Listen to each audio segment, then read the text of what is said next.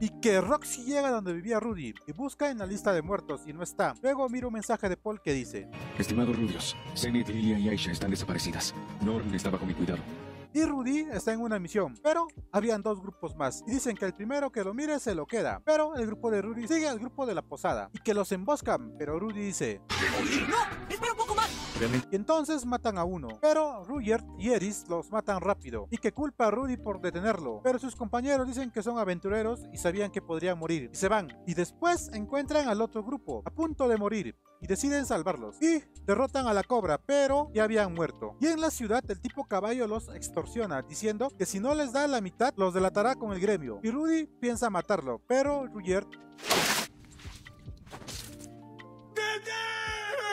y entonces lo amenaza y escapa. Y en la noche afuera de la ciudad se encuentran y se disculpan entre los dos y... Ser un guerrero es mi orgullo.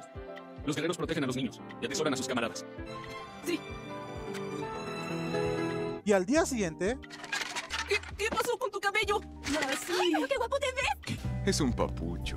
Y continúan su viaje, entrenando, espiando, cambiándose de ropa. Y después vemos que Roxy llega